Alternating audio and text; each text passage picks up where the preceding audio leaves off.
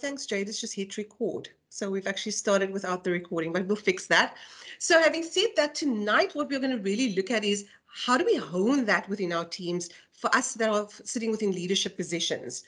Now, I thought it was quite important for me to, yes, we need to trust research from, from credible sources, but have we actually stopped to ask ourselves the question, why would a skill like creativity and innovation be important? So thought to kick us off this evening, we'll actually look at the why, and we are very familiar and comfortable with the Simon Sinek view of starting with your why. Um, and I've given you a couple of reasons here. So what I'd really like to ask you as a leader to do is as we progress throughout this afternoon, really then ask yourself the question, is this something that I'm after within my work environment?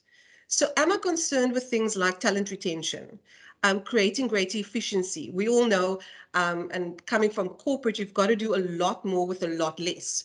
Um, and more and more is going to be demanded on us as leaders to get more from our teams. Are we concerned with increased productivity, promoting collaboration, improving problem solving, and having a competitive advantage. If you're going to answer yes to more than one of those questions, then I think you've already answered the question as to why creativity and innovation is going to become important for you as a leader to, to grapple with. So from that perspective, understanding why, I think it will also be quite important for us to look at. Um, I'm just sorry about that. I think our slides have just stopped sharing. Am I, are you guys still seeing the slides? Can I just get an indication? Um, okay, no, we can't see the slides. Okay, so I'm just not just sure. Sorry about that. Thanks, Cindy. I'm just not too sure why that dropped. Just give me one sec. Okay. I'm just not sure if that was my connection, so give me two seconds to just fix this.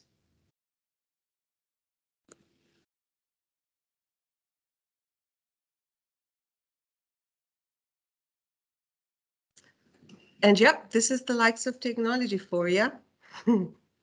Are we back? Cassie, yeah, they loaded. Okay, cool. Yeah, it's just started at slide one again. So already no problem. Let's just quickly move that along. I have just no idea what just happened there. Okay, so where are we?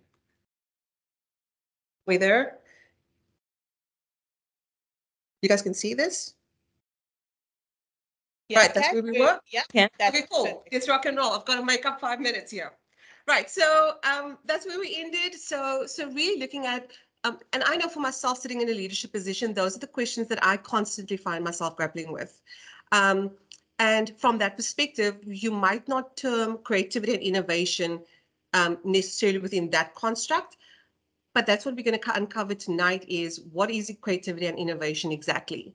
Um, and just if you're looking at your screen right now, what I have there is if you look at a couple of hidden letters, what you might find is that our brain would try and fill in the blanks within those and see a particular word. If I may ask you to just use the chat at this section, what exactly do you think is the hidden letters that are displayed there? Any takers? You even can put on your microphone if you like. Be creative. Cool, thanks, Jean-Marie. Correct the hidden box thinking is to be creative. That's also some really good examples. So that's what everybody saw, right?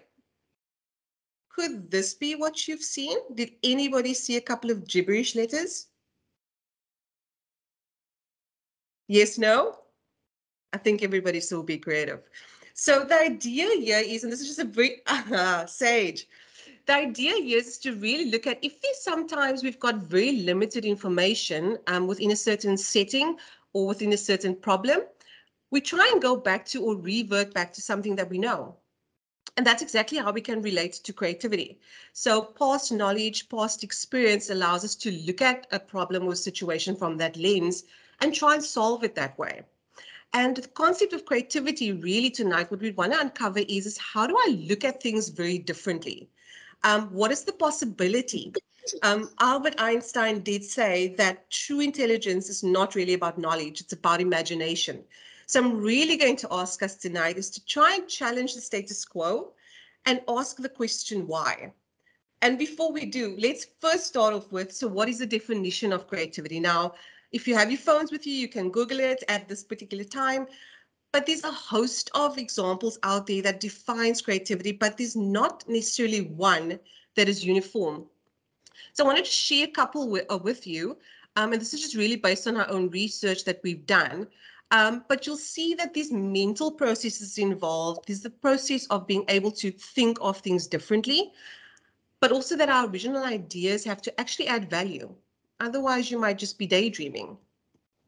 Um, I do particularly want to share one with you, which is from Dr. Linda Naiman, which is the very first one you see on your screen. And I think for me, for where we find ourselves in business right now, this has really captured it really brilliantly.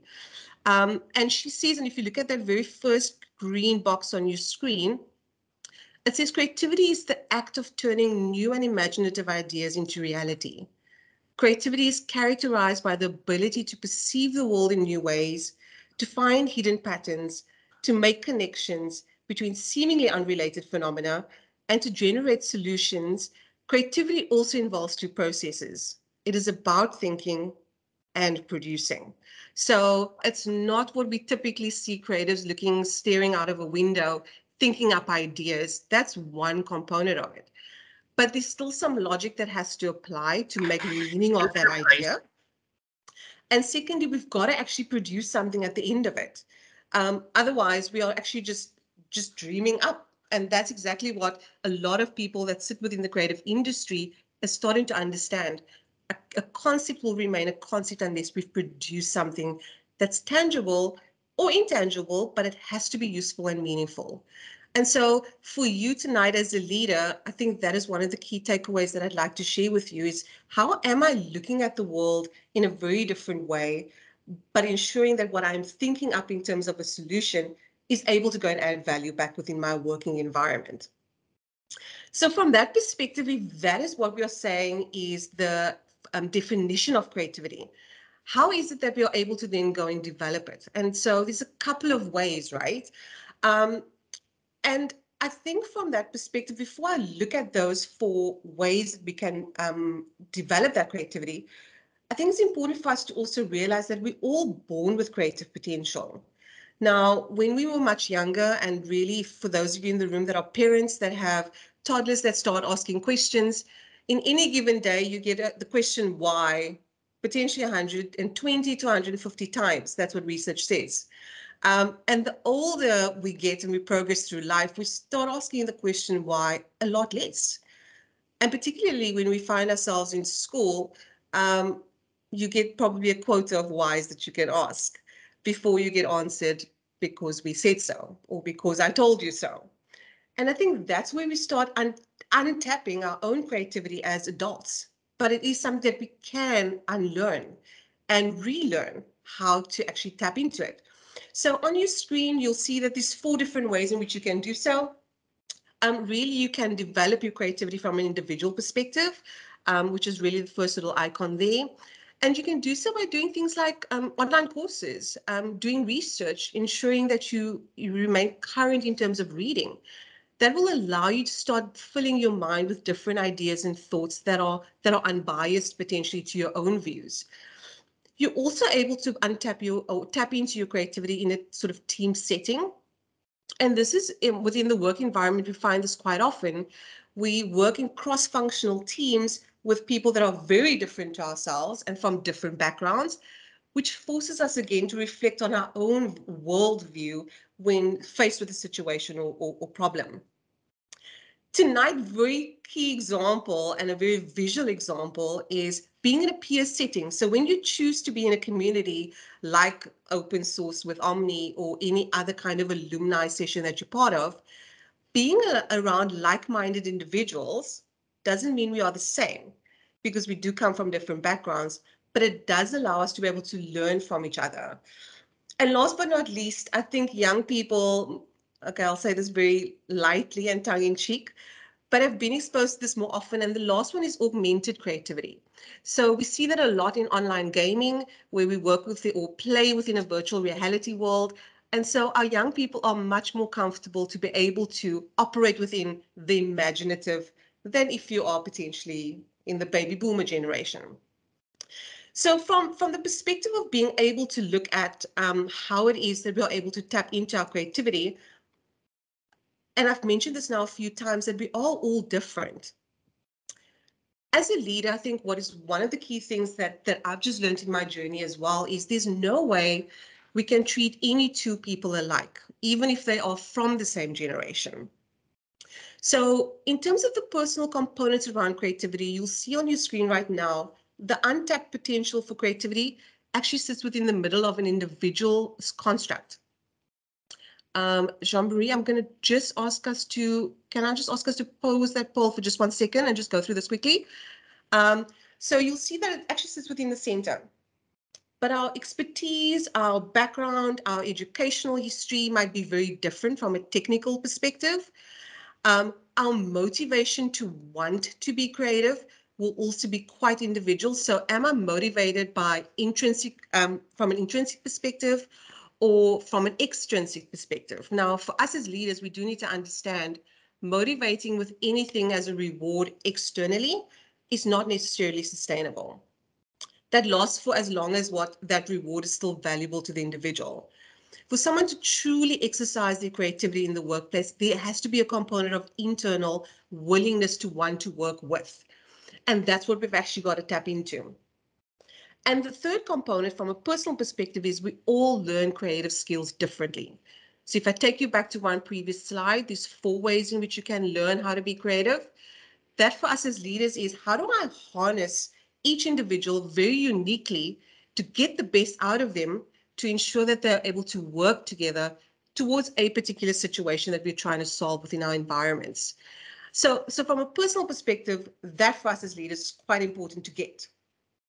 Now, in the same breath, there's no two humans that is the same. And I think this is the fundamental component from a why that cannot be replicated by artificial intelligence or even robotics, is our ability to operate within a specific construct.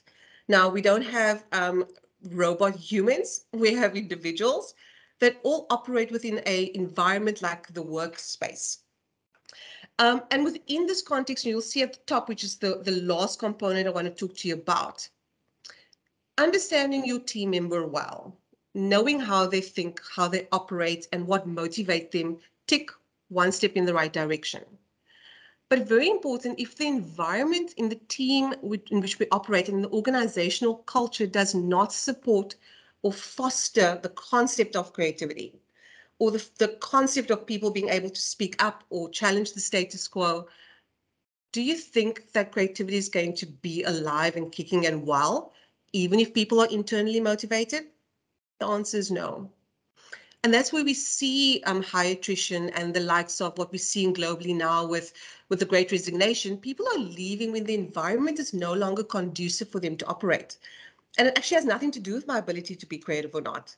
I'm just not comfortable that I'm able to challenge my manager or challenge my leader to improve a process or a system. So you understand that whilst I'm dealing with an individual, I'm dealing with an individual and teams within a specific context. And if the context is not conducive or toxic in any which way or doesn't allow for constructive communication and debate, our organization is not going to move forward. And I know often um, cult, the concept of culture is not always within our control, but as a leader, how are we influencing that culture to allow people to see beyond just that? So if I can just pause at this section here, I know um, our team has popped a poll into the chat if we can quickly just have a look at that. And, and I think really the question here on the table was, are some people born more creative than others? Yes, no, or we're unsure. Um, and the second question is, um, I think they're still going to pop that in in a second, would be really around, is, is creativity a skill that can be developed? Yes or no?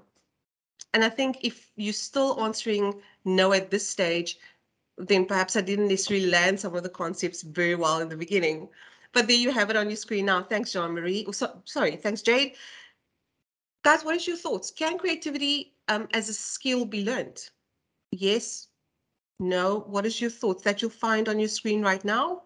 We'd really love to hear from you. Thanks so much. Alrighty, votes are coming in. Can it be learned? Absolutely. Is some that says maybe. Perfect. To the members in the room that said that maybe creativity skills can be learned, I absolutely do agree with you. Um, and the reason why I would like to agree with you, if I can just take you back to one slide here, the individual still has to make a conscious choice as to whether or not they want to learn or not learn. Um, can I just ask for mics to be muted? If I can just ask our teams to sort that out. Yeah, so absolutely agree with you. It is a maybe. But for us as leaders, I think if we do want to take on the responsibility around being able to motivate and encourage and go back to the why it is important, we can only but encourage um, individuals to do so. But if that internal motivation for me to learn a new skill is not there, then you're 100% spot on with that answer. But to the what the 90% of the room that said yes, absolutely, you can actually develop the skill of creativity. So from that perspective, Lisa, oh sorry, Leander, I'm not seeing your slides. Are you seeing the slide now that says innovation is the implementation perfect? It might just be a bit of a delay on your side, Leander. Awesome. So just for where we are now, guys, um, we've covered, okay, so creativity is around thinking up ideas, being able to generate a host of ideas, um, using our mental processes to do so, and ensuring that our end result is a, a thought that is able to be produced, that is tangible, meaningful, and useful. We also agreed and looked at so far that there's a couple of ways in which you're able to build your creative muscle, um, if we can call it that, and you can do so individually, in a team context or in a peer context. We're not treating people the same, but we understand we're operating within a context that ensures that we are able to foster that environment that allows people to, to dream um, and to actually think up ideas that is non-conventional. At this stage, what is innovation really? Now, often people use innovation and creativity side by side as if it's the same thing. It actually isn't, but the one can't exist without the other. Now, we said that creativity is about creating ideas and generating ideas. Innovation is about actually making it happen. So implementing a new product or re-engineering a product or improving a process doesn't mean that it's perfect or that it's going to be successful, but you're actually doing something about what it is that you've thought about and not just left those ideas on a piece of paper. And that really is the art of using both of those interchangeably. So from a business context, if I'm, let's use some of example, needing to reduce a departmental budget by 20%. And so we've got to look at how to work leaner. If that is the problem statement, we can get a host of team members to come up with ideas of how to do that. Cool. Those ideas are going to mean nothing unless we try and actually go and do something about it and have a look and then measure that result to see whether or not anything has changed, has it improved, or how to actually go back and refine some of the ideas that we have come up with as a team. So from those two concepts, really, that is how they go hand in hand. I can be creative and actually just do nothing, or be creative and do something about it and ensure that I'm actually improving my working environment. Um, I think I've covered this year where I'm going creativity goes hand in hand with, with innovation. And at this stage, if you really go back to that question I asked in the very beginning, why is important? I do want to just pause here for a second because I don't think it's something that we can actually argue we don't need to learn this or it's not something that we, we should take away and go and apply. And the reason I want to argue quite strongly that innovation and creativity is important for us for where we find ourselves within our organizations and countries specifically no longer are we able to solve problems the same way we've done them five, ten years ago. Um, if COVID has taught us anything and the positive we can take away is that problems need to be solved in a much faster manner with a different mindset, with the mindset that actually we are able to come up with solutions to help business recover um, we're still seeing a lot of the backlash of, of COVID in terms of economic recovery. And so how are we going to turn things around? Think things up, but actually go and apply it to in order to move us forward. So at this stage, before I move on to enabling factors, I'm going to just ask Jade if you're online. Is there anything that I may have missed in the chat? Because I do know that's been quite busy. Um, Dion sharing quite a bit of graphics with us. Dion's also in the creative industry, so we do know him from a schooling perspective. Dion, thanks so much for that. Um, Jade, is there anything that I've missed?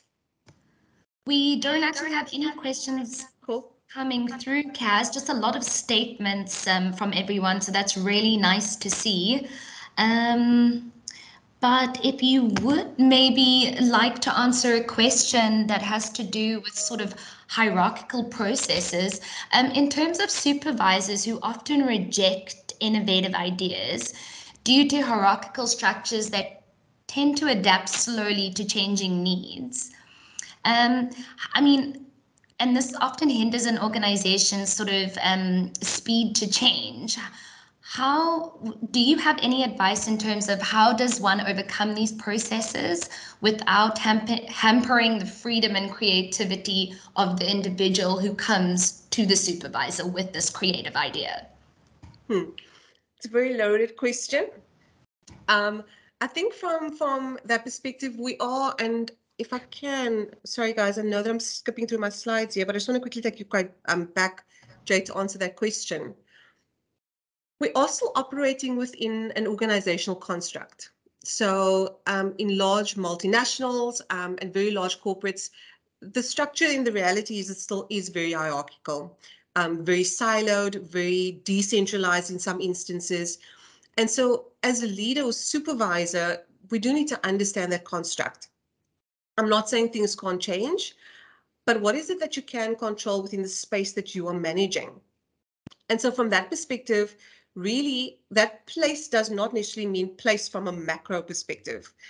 That place can also be within my team, whether or not your team is quite minute or very large, but how am I controlling and, and fostering an environment there in which we are able to, to help improve the situation or the problems that we are facing within our team? Granted, if we are now talking about big business problems, obviously there's naturally um, a way in which you're escalating those those um, ideas from your teams. And again, I think I don't have the, the correct answer or the, the full detailed answer to give you. But if organizations are going to be slow to adapt, and we've seen this and there's many case studies about it, organizations that are being slow to adapt and not building growth strategies alongside business as usual are the ones that are going to become obsolete, less and less relevant, and are going to be taken over by organizations that are able to manage both those strategies at the same time. So, so from that perspective, really, I do think from a leader, control that in which you can control in the space in which you're in. Try and influence, that will be my encouragement. But organizations also have to start looking at, from an organizational perspective, how are we creating this environment that allows us to create channels where our teams can provide suggestions for improvement? Or ideas. How's that being managed? Um, and so it's not very, it's not a very linear answer I'm providing, but it also was a bit of a loaded question. So I hope that gives you some context there, Jade. Um, what would be the consequences of being complacent if not innovating, maintaining the status quo? Um, yeah, Lisa, 100%. I think that is exactly, if we just go back to just what Jade has just asked, if we are going to remain complacent, we are just going to become irrelevant. And so we are going to find that jobs naturally are already changing. And I'm going to quickly skip back to where we are now um, in terms of enabling factors, and hopefully that addresses your question, Lisa, around complacency.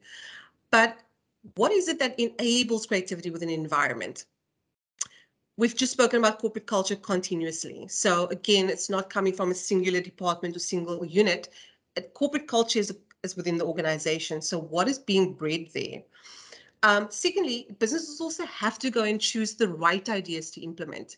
So not moving, which is not being innovative, and that's being being complacent, means that actually I'm just potentially not going to keep up um, and not generate any revenue or being able to compete within the environment in which your business operates. So not all ideas can ever be implemented. I just don't think there's the time nor the money within organizations to do so. But selecting the right one has to be quite critical and has to ask, answer a couple of questions. So does this idea improve performance? Um, does it enhance a product or service that we're currently offering? And, and is it what our customers want? Um, and the shift really here for business is starting to become more human and customer centric compared to what we think our customers need. And I think that really goes right back to put out an MVP change. Um, for those of you that don't know what that is, it's it's a minimum viable product. Um, and that can be a minimum viable change to a process or system. Check it out. We're not going to know if it works until the end user actually uses it, critiques it, provides us with feedback, which allows us internally to actually go and improve on that and put out another version of it that's where the concepts of sprints and being quite agile is birthed from. It's being able to be quite fearless in the way in which we operate um, and go and implement that change. Again, the disclaimer I want to make these, we are operating within a construct. So please do understand um, what that means within the organizational context within in which you operate. Okay. So Lizzie, if that answers you there, if we're going to choose again, make the choice to not move, we are going to be left behind. There's just absolutely no way things are going to just change automatically. So from that perspective, leaders, what can you do to foster that environment um, of creativity? And I do think it does start with us. We we do set the example um, and we set the pace for the environment in which we want our teams to actually mimic the behavior that we are looking for. So I've given you six tips here, um, and please don't be startled at the first one. This is not an exhaustive list. Um, in fact, um, I think we've got about 11 or 12 um, more detailed tips that will be in one of our modules on our online platform. But I felt these were quite generic and relevant for where we are. So if I can run through this with you very quickly, um, the first one says never say no. Um, and really that doesn't mean don't say no verbally. It is around being able for us to also be able to control our non-verbal cues when we sit within an information session or an ideation session. So being very mindful and conscious of what words I say. Am I sending any signals to go, mm, that idea is probably not going to work? Um, so what am I saying? Or am I actually just listening and encouraging ideas to actually flow, flow comfortably? And I think the key takeaway for me here is what am I saying? How am I saying it or what is my expressions, but also I need to listen. Um, and that is our role is to really hear what our teams are saying.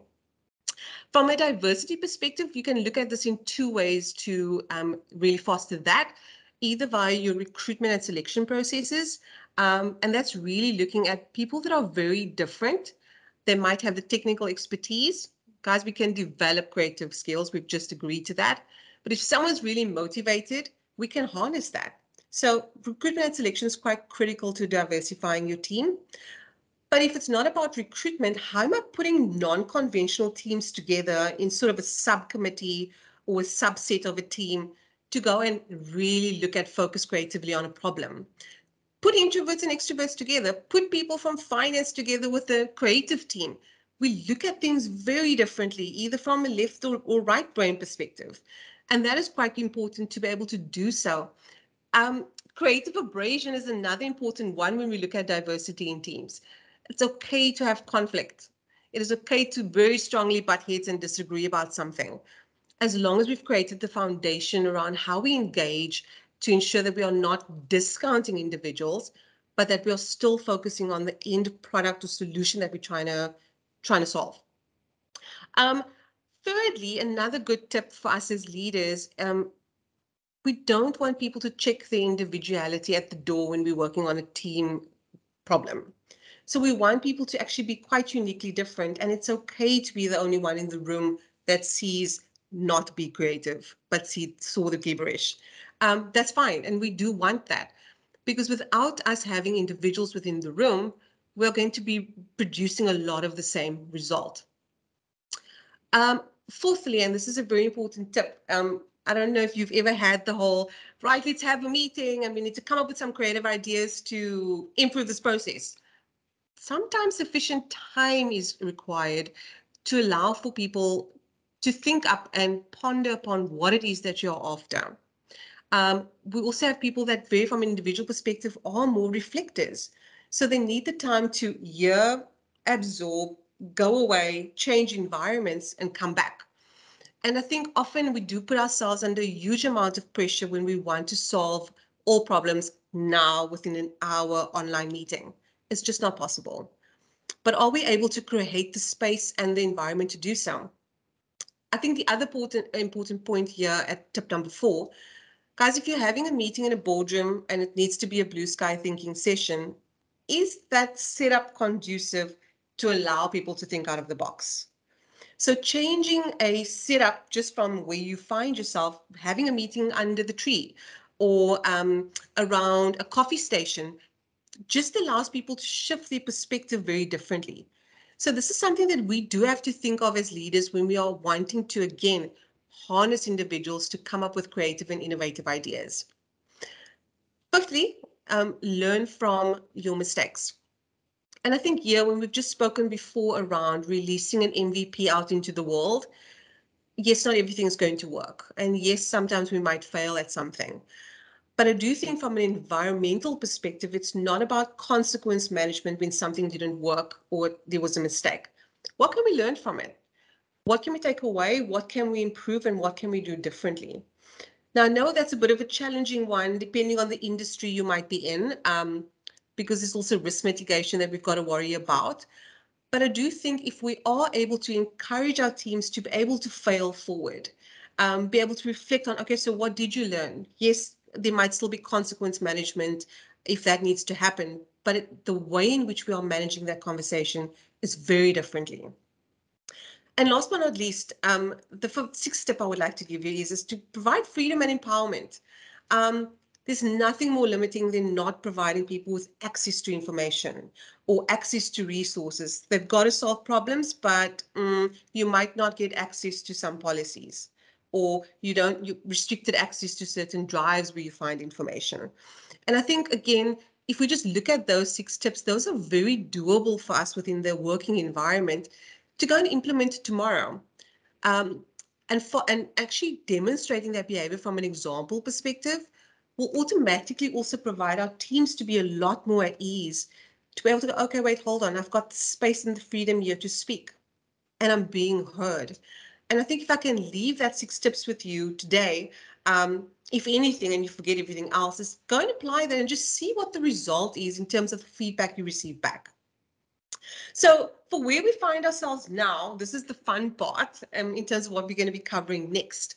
So please stay on the line with us, um, engage. I do think this is going to be an in practice principle, um, which we've not done in previous um, open source sessions. So I'm going to take you through that in just a sec. I just want to have a look at David King. Processing is very necessary for some, 100%. Empower your team to push boundaries and challenge your thinking, psychological safety. Absolutely spot on. I think that's a it's a very um, big topic that's come out um, throughout the last two years, which is around psychological safety. Um, and again, I think if we are going to demonstrate that behavior, it's going to allow people to feel safe, to be able to ask the challenging and tough questions. Bear in mind if we are opening up that door or pro providing that platform as leaders we also have to be comfortable with what that feedback might be or what those questions might be. And not at that stage when it becomes too uncomfortable for us actually change the rules and go well no um, email me instead so i do think yeah um, boundaries is quite important um, but i do think very importantly have a construct have team rules of engagement how how would we like conflict to be handled. And, and if we have those, I do think that's going to be a, a recipe for absolute success within your teams being able to be creative and, and innovative. So at this junction, um, we are going to be doing a group activity. And what's going to happen right now, we've got a couple of our teams um, that's behind the scenes that's going to help me manage the session. But for all of us that are in the room, we're going to be broken up into a couple of breakout rooms.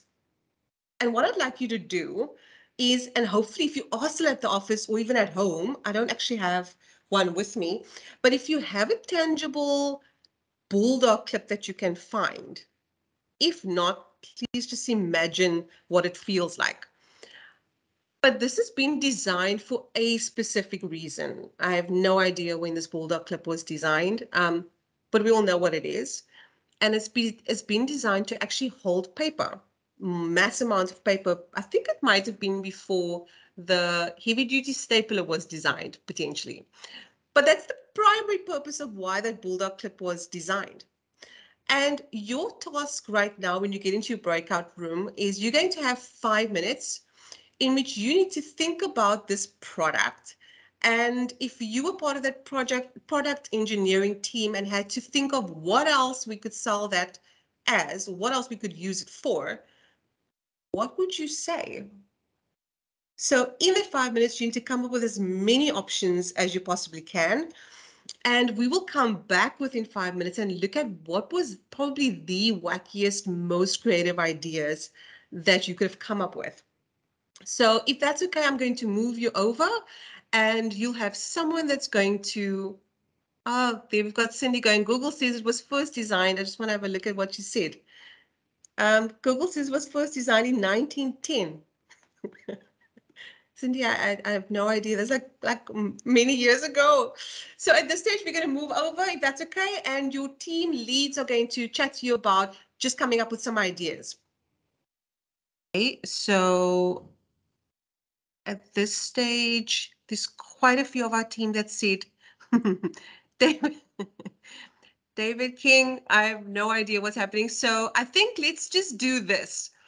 How about we just open up the for the floor um, and if anybody has any ideas, you can talk to me or pop it into the chat.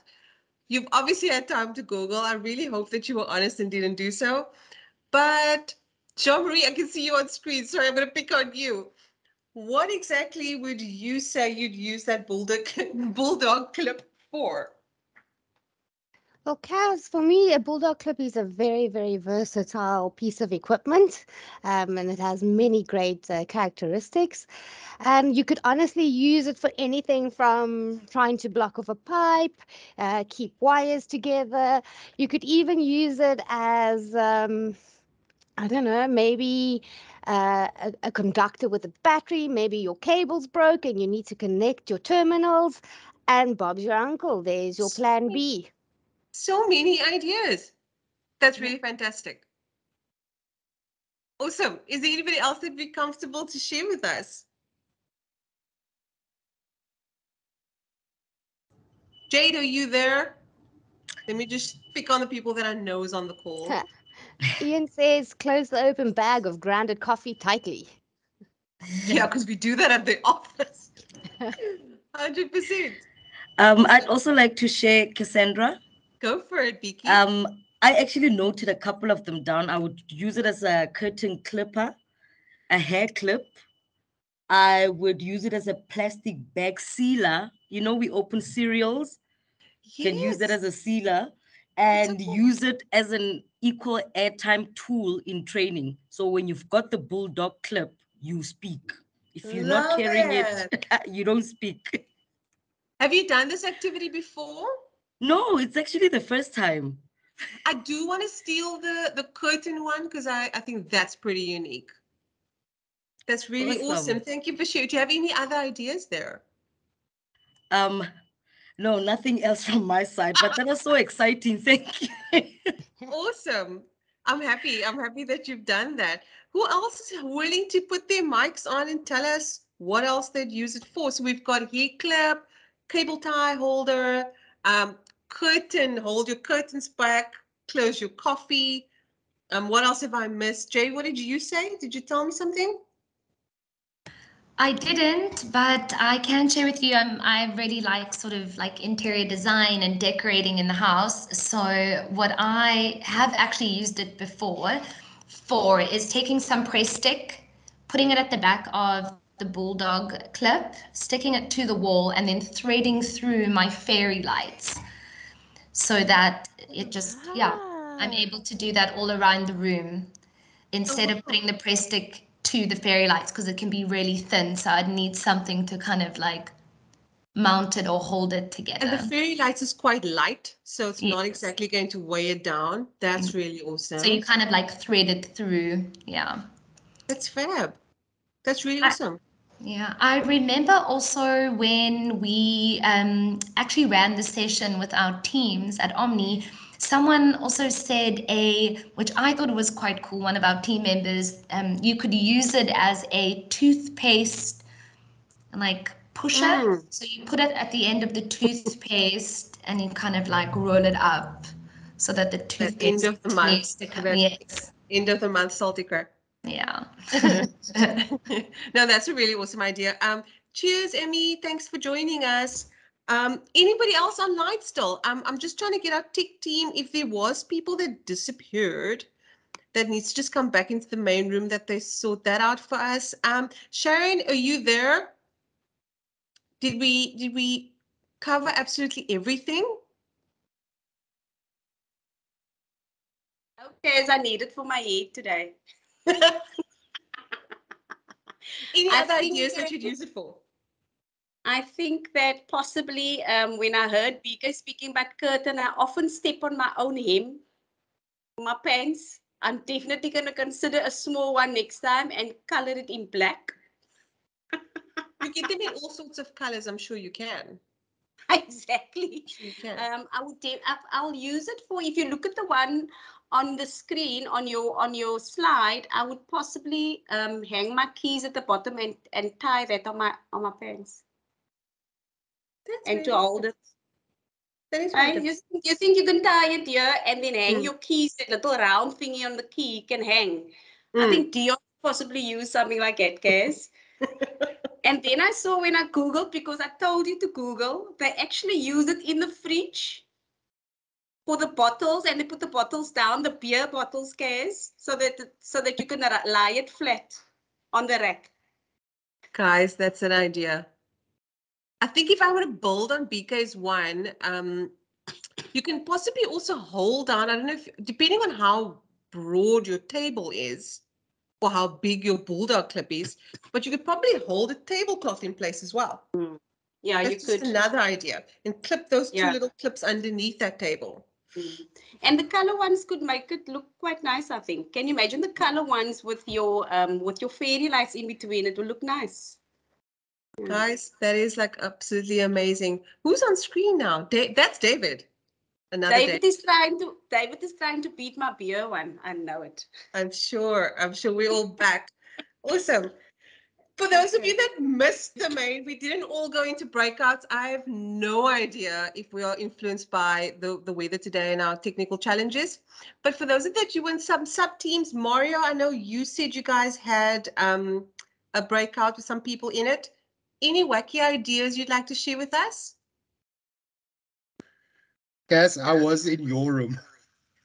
Lisa was managing the one that I was listening to. Oh, was she? Okay, then Lisa, we'd like to hear from you. What did you guys come up with? Did you solve a world problem with the bulldog clip? That's a very good example of delegation where there's no official um, role clarification. But okay, I'll share. There were some creative ideas. So first of all, it's um, to close packets, to hold it, close coffee, chips, um, pasta packets, whatever. Then um, also when you have, when you need the weights for a tablecloth as an example, so that a tablecloth doesn't blow off, you can use it as that. You can use it as cufflinks, as a um, a tie clip. Um, you can use it as an emergency button for your trousers. Hmm. You can use it as a hair clip, a hair replacement for those of us that's got long hair. That's a very easy way to to use it. And then I think our final comment, if my memory serves me correct, and team, you can just um, comment here as well if I didn't cover everything, is just to say if you are in the business of manufacturing the clips, because we use paperless, you might have to go into a process of a creative brainstorm or think tank to look at how do you re-engineer your product to be more relevant because paper is being used less and everything is more electronic. So that was a closing comment I think we made. Did I cover everything, team? Idea where your team is. Well, I got a thumbs up. Thumbs up. That is really phenomenal. Now, I think, and thank you so much for engaging us, even with the challenges in doing this. Thanks, Jean-Marie, Jade, BK, Sharon, Lisa. Really appreciate it. I think if we just reflect on what we've just done, um, and I just actually want to quickly take us back um, to, if I can just quickly jump, and then I'm going back to, to this slide around um, the components of creativity. We, we were all in the same place, not necessarily, but we were within different settings. Each of us were in that room with very different thought processes, so individual. We had to think about and generate that ideas very differently at speed, or some of us are still reflecting, or we used a tool to actually research. But the product we focused on was that tangible bulldog clip. So in practice, what we've just done using a very silly example was when certain of those elements were out of sync, there were some stumbling blocks. We potentially had some challenges to get started. However, we all knew what was the end, what was the end result here that we needed to achieve. We had to think of how else we wanted to use that bulldog clip other than holding paper together. That was the solution we were trying to solve. And even with all the other challenges, unless they all sort of came together at some point, but we were also motivated to want to solve that problem, none of this would have actually happened. You guys could have decided this is a waste of time um, and actually just bounce out of the call um, because you didn't you weren't motivated to do this. And so there's a very practical example of how each of those elements have got to work together. And we've got to ensure that that environment is conducive for individuals to want to generate those ideas. And so that just kind of solidifies for us where we are this evening as we wrap up is that I want to leave you with a couple of just thoughts in terms of summary. We've spoken about this evening around the concept of creativity, and it's really about generating ideas using both left, right brain thinking, which culminates in us thinking outside of the box, which is actually coined as the term lateral thinking. Innovation actually cannot be seen in isolation from creativity. So innovation is around implementing those brilliant ideas that you come up with for either a tangible or an intangible product. Thirdly, we all have creative potential. We've just case in point showed that in that activity now. It really is up to us as individuals to want to harness that muscle and figure out how we're going to do so. Now, we don't all have to go back to school and study, but being within different setups, teams, in a peer setting like today, we are able to actually work that muscle to think differently about a solution, a situation or problem. Fourthly, leaders, it's really up to us to create that environment. And that's what we just covered in terms of that four Ps, in terms of the components that we need to have in place. It is our role to ensure that the culture, the process, the construct in which we are operating in really comes together in a way that we can bring the best out in our in our teams. And last but certainly not least, um, and I think this is my most favorite quote that I've I've just recently read from Dr. Linda Naiman, and she she does a a TED talk on um, doing multiple different um, chats with CEOs around how they are able to, to leverage creativity in organizations. And if we're not going to frame the way we see our role, that leaders are supposed to set the stage and not perform on it, we're going to find that we're going to lose our teams within the process because we should then be having all the answers. And it really isn't about us. It is about us creating that platform and environment to allow our teams to be able to shine um, and to flourish. And so that's really where I want to end the session this evening. Um, just in terms of what you can expect next. So where to from here? We've just covered the tip of the iceberg around just defining what those concepts are, um, looking at how to build creative muscle, um, and just I gave you a couple of tips for you to take away as leaders. But really, if you want to delve into this some more, and if this has piqued your interest, please go and check out um, our Disruptive Leaders module on our OmniStack. Guys, they're at a nominal price. So if you really want to just chat us about doing some activity for your team, if that's something that you're after, we're very welcome and very happy to support you in doing so. But most importantly, I do want to share with you, we are back here next month.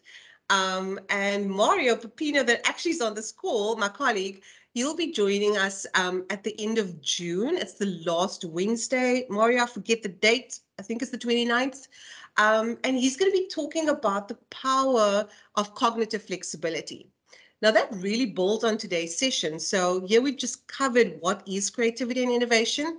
And he's going to actually look at, so how are we going to take that back and actually go and cognitively work on our flexibility of solving problems and looking at solutions in a very unique and different way. Thank you so much for joining me. If there's any closing comments or remarks, I'm going to be online and the team's online for the next few minutes before we close out um, this very, very busy day. So thank you very, very much.